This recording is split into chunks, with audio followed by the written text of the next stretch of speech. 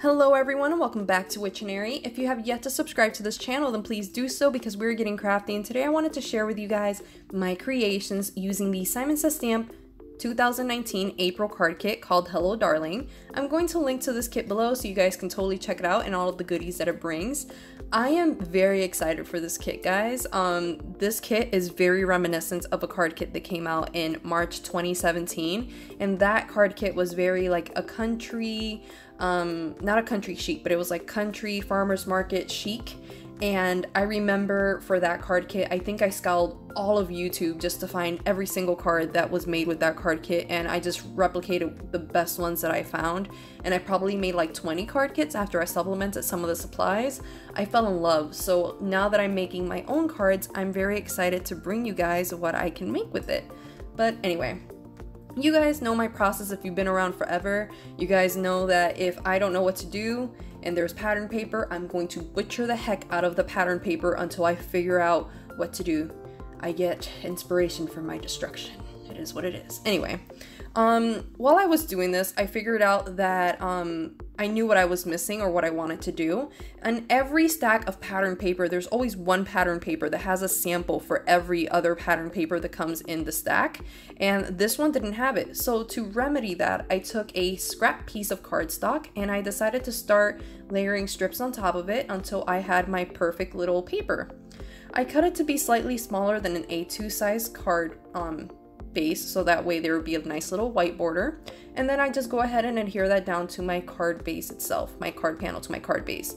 I went ahead and I pre-cut all of my card bases from the cardstock that came in this kit. So in case you guys are wondering where that's from, that's where it's from. While doing this, I realized that this kit is perfect if you're like a beginner because honestly, you can take a bunch of those little squares that came in the pattern paper and just literally go to town making cards with just that. To break up the busyness of this um, card panel, I decided to adhere my little square to a piece of mint cardstock from Paper Source. Now here's where I'm going to advise you. Definitely don't use foam squares if you're going to use glossy accents on top. Um, the glossy accents warps the paper underneath and for whatever reason I didn't think about that ahead of time. I don't think things through apparently. That's a thing. But um yeah, I definitely didn't do it this time. So my actual little rectangle ended up warping and I was very sad about it, but too late to go back and I really like this card so I'm showing it off. I go ahead and I use glossy accents on my little hearts and that finished off this card. For my next card, I really loved this little pattern paper with all of the cute little chicks. I thought that it was very reminiscent of Easter without being too in your face. It would be perfect for spring as well, not just Easter. So I go ahead and I take out this um, twine that I had in my stash and I decide to use that strip that says it's your time to blossom from the pattern paper. I secure my twine down using some tape and then I just go ahead and start using some foam squares to raise up my actual sentiment um, onto my card panel. While I was looking through my stash for my twine, I noticed that I had some beautiful Pebbles Incorporated foam um, foam stickers and they were like perfect for this card kit. So I was like, oh my god, what else do I have in my stash? I found a lot of cool things in my stash that I felt like I could probably use again and actually breathe new life into. And I was very inspired to like, you know what? I really should probably like at least every other week or like once a week just go into my stash find one of these card kits that i really like that i want to revisit and just you know make a video out of it and if you guys have it too and you guys want to tag me and um, you're wanting to breathe life into your card kits journey on Instagram, my Instagram handle is um, at Witchtionery. I would love to see it too, but we spend way too much money to just have these card kits just lying around. And you know, as we get older and our craft becomes a little bit older, we become more seasoned, and I'm pretty sure we can come up with new creative ideas, so why not? I adhere this panel down to a brown card base, and that finished off this card.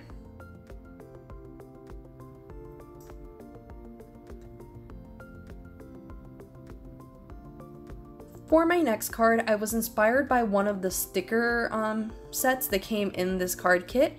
The one with all of the sentiments. And for a second, I was like, you know what? I should probably just get a nice little piece of scrap cardstock and just layer all of these on top of that exactly how they are on the sticker pack because I really, really like that. Um, but then something was just like no girl that's too boring you don't know you know that you don't want to do that so i decided against it and now i kind of regret it but i just go ahead and i start adhering all of those down onto this beautiful piece of pattern paper and i raise some up with some foam squares i just adhere some directly onto my card panel um, just to play around with dimension like i always do i go ahead and i add a few of these puffy stickers just to give a little bit more texture and then i just go ahead and adhere that down to a card base literally just directly and that finished off this card. Easy peasy, lemon squeezy. It, I just liked it.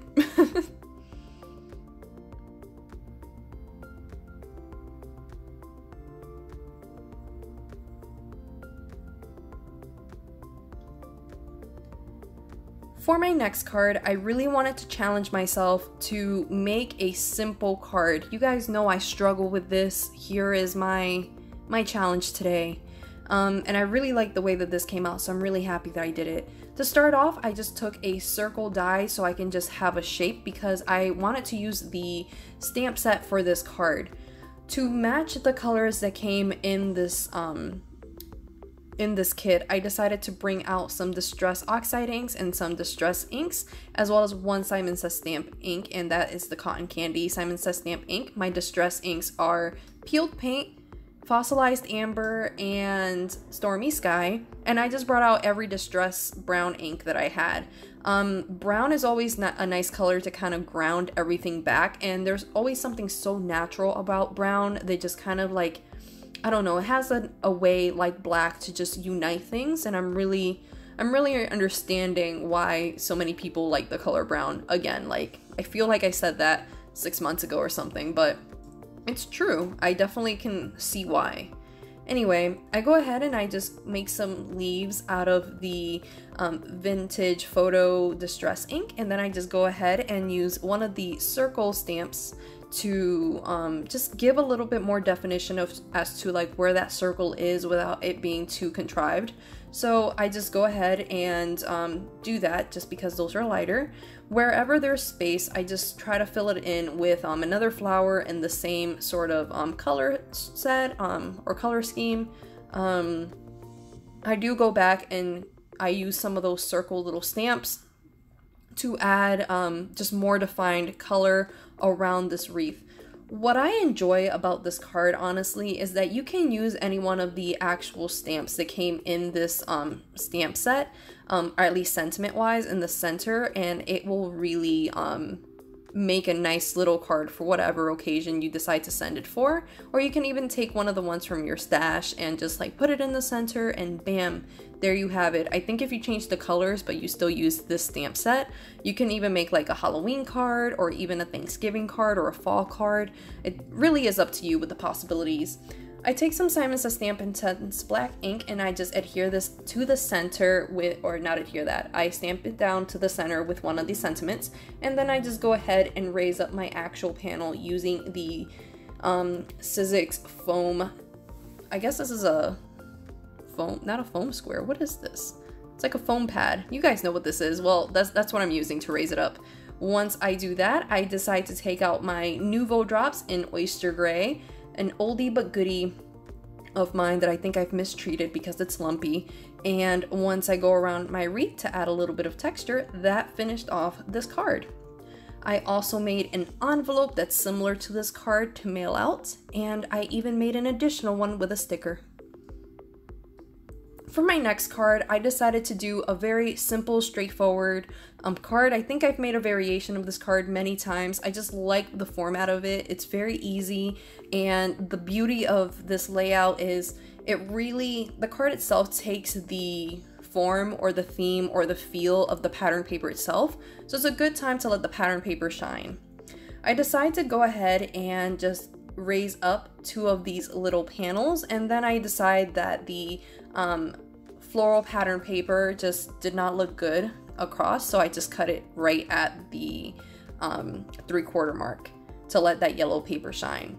I outlined the floral paper with some of this beautiful striped paper. That striped paper is like by far my favorite that came in this kit.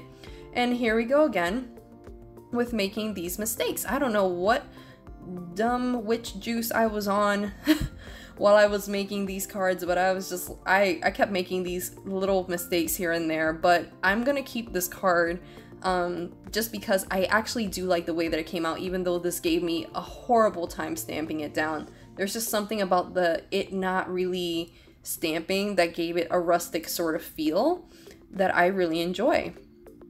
I go ahead and I take some of those puffy stickers and I try to make a little, um, just a little interest at the top right corner of my um, sentiment and I add that little um, arrow to my actual card from my sticker pack. I adhere this down directly onto a blue card base and then just to add a little bit more interest I decide to go ahead and use my Nuvo drops and I don't know what I did to my Nuvo drops. I don't think I love them. They really are like crusty. I have to replace this.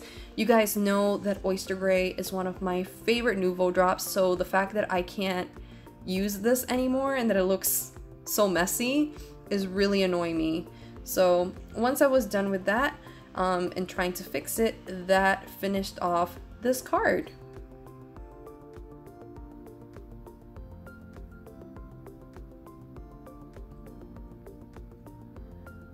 For my next card, I want to say that this card started with good intentions, that it was going to be just this nice little gingham card with a similar um, feel and a similar build as the previous card and it just turned out, it just went for a loop. That's all I gotta say.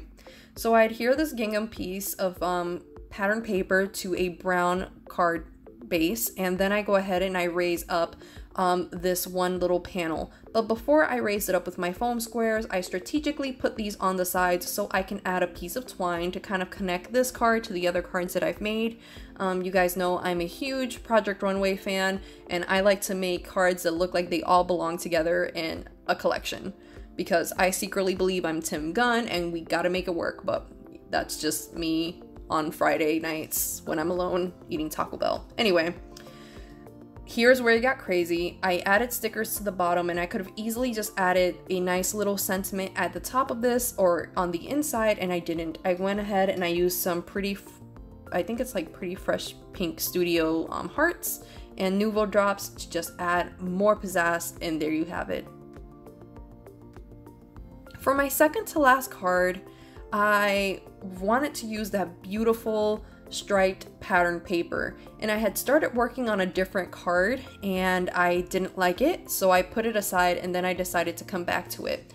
I've been really really into like the um the tag cards where there's like a tag in the center and I decided to do something similar by making a tag with a little bicycle and a different sentiment with the same colors that I had used for the wreath card um, in my earlier cards. So I go ahead and I decorate this the same way, same browns, same distress inks that kind of look Easter and spring-like. Um, and then I go ahead and I make a nice little double looped bow just for, you know, added added pizzazz. You guys know how I do. So then I bring out my nice little patterned paper. I raise up my little tag using some foam squares and then I bring out my Nuvo drops in black just so I can add a little bit more um, pizzazz on the sides and I take out those pretty pretty pink fresh studio um, hearts that I've been hoarding and I add one to the center and that finished off this card. I'm gonna figure out what these are called by the way. If not, I'll link it below. For my last card, because this striped paper was just so pretty, I like I could not get enough of it. I wish I would have used it in more cards.